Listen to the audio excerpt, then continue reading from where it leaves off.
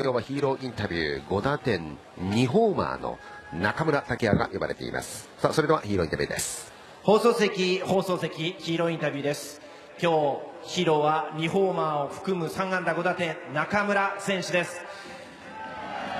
ホールドゲームという形になりましたけども乱打戦制しました。今の気持ちを聞かせてください。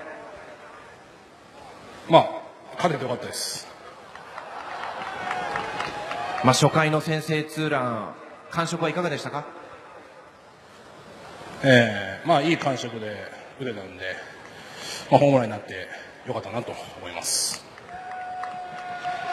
4回の勝ち越しスリーラン初球振り抜きました。どういう気持ちで打席に立たれたんですか？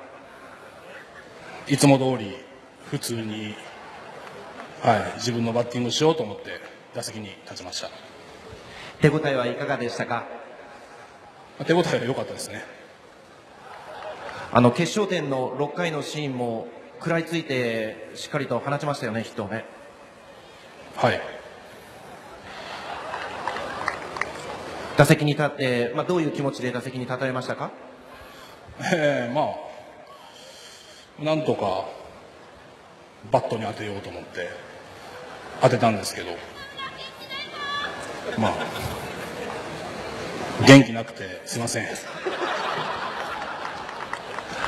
まあ、これで連勝という形になりましてカードも勝ち越しということになりました、まあ、首位ホークスとも現時点では3ゲームという形になりましたけれども、え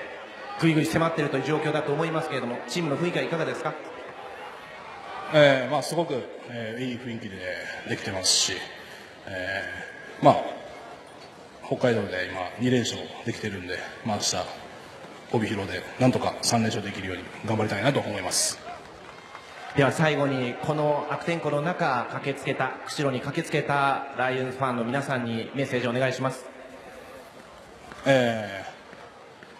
まあ、これからも、えー、どんどん打って、えー、チームに貢献できるよう頑張ります。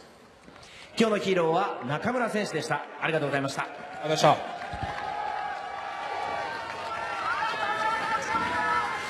た。中村武也選手のヒーローインタビューでした。